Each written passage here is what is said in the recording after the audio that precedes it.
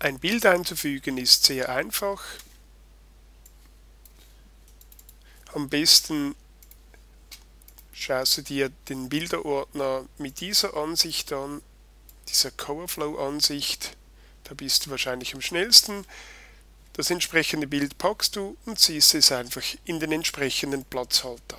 Automatisch wird es hier versenkt und du hast hier noch verschiedene Möglichkeiten, den Rahmen auszufüllen. Hier wird das ganze Bild eingefügt und je nachdem halt, wenn es nicht genau zum Rahmen passt, noch ein Rand gelassen. So wird der Rahmen möglichst ausgefüllt, beschneidet aber etwas vom Bild. Und hier kannst du noch das Bild nachträglich zuschneiden. Das sind also die drei Möglichkeiten.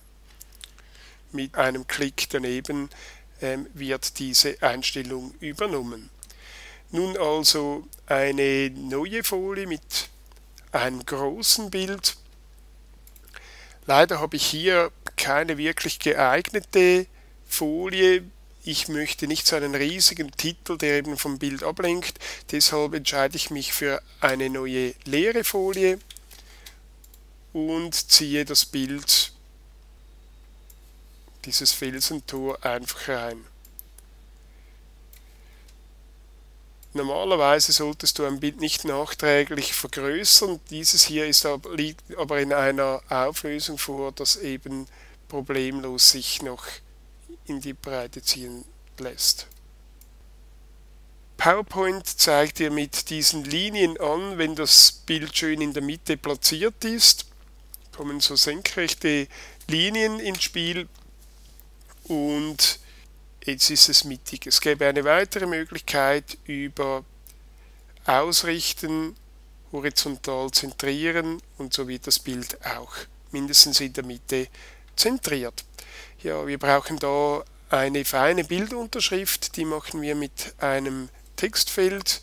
Hierzu klicke ich wieder auf Start, wähle Textfeld und ziehe einen breiten Balken über die ganze Breite hinweg und schreibe hier direkt rein. Das Egü über dem großen E findest du übrigens hier mit Alt ganz oben rechts und anschließend ein großes E. Diese Schrift soll zentriert sein also in die Mitte rücken und relativ klein, ja vielleicht 18 Punkte oder so, das sollte reichen, höchstens. Ja, damit wir jetzt nicht jedes Mal wieder das von neuem einstellen müssen, ist es einfacher, wenn du diese Folie duplizierst mit einem Rechtsklick oder eben Befehl Umschalt D erhalten wir eine Kopie, das Bild löschen wir und ersetzen es durch ein anderes, nämlich dieses hier, das wir etwas verkleinern mit der gedrückten Alt- und Umschalttaste, so wird es zentriert verkleinert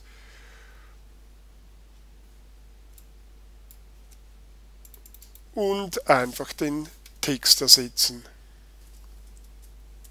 Hier hast du nun alle Bilder von mir bekommen, aber selbstverständlich kannst du auch Bilder direkt aus dem Internet in PowerPoint reinziehen.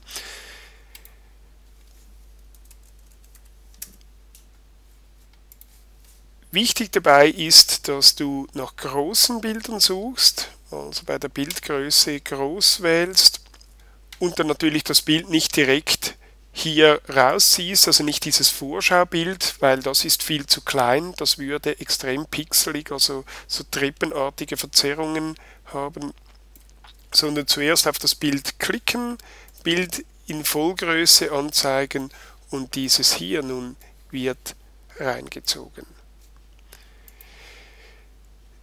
Ich persönlich bevorzuge die Methode, dass ich die Bilder immer zuerst auf einen Ordner auf meinem Schreibtisch oder so ziehe und so dann eben alle Bilder eben auch für nachträgliche Änderungen noch zur Verfügung habe.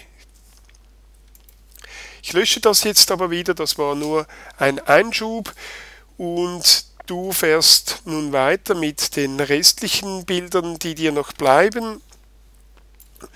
Bitte beachte, dass du jeweils dann eben allenfalls auch das Layout ändern musst, beispielsweise bei dieser Kathedrale, wo eben zwei Bilder auf eine Folie gelangen sollen.